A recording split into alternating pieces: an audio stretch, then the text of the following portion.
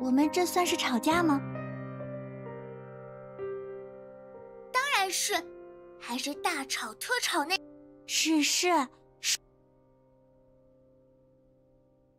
主人知道错了。嗯。那，主人说说哪里错了？我错，错在我不应该吃醋。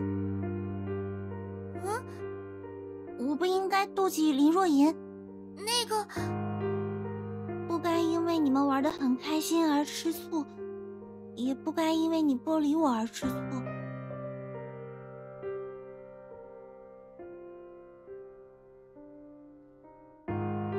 不是这样的。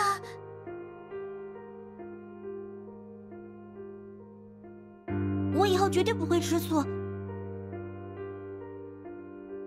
哪怕你不理我，哪怕你和别人玩的很开心，我也不会吃半点醋。不行，什么不行？这种情况，主人必须吃醋。不是这样的，我我刚刚也我只是不想看到主人和其他，一想到主人会被抢走，傻瓜。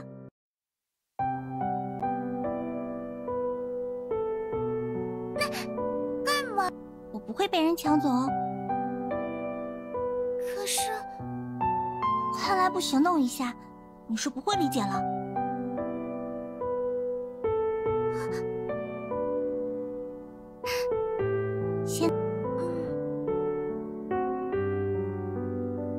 不会被人抢走的。说到底，我除了你之外，一点也不想。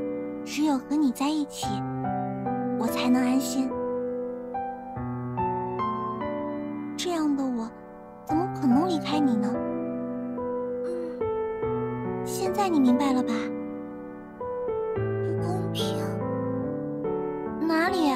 现在主人分明是在报复昨天的事情。是琥珀的错。犯规！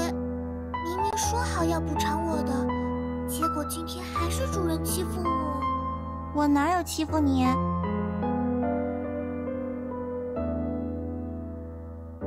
你有我的琥珀呀，也太撒娇了吧！才没有！走吧，我的小猫咪。去哪？当然是回商场啦。主人又要去找林若莹？啊，干嘛又弹我额头？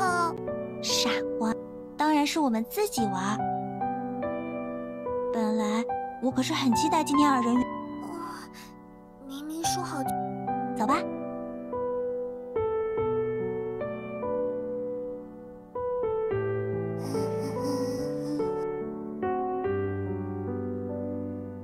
这是什么歌？好像经常听你唱。嗯很好听是吧？这是